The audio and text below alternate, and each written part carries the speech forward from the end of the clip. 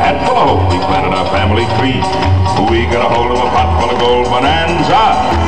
With a horse and a saddle and a ring full of cattle, how rich can a fella be?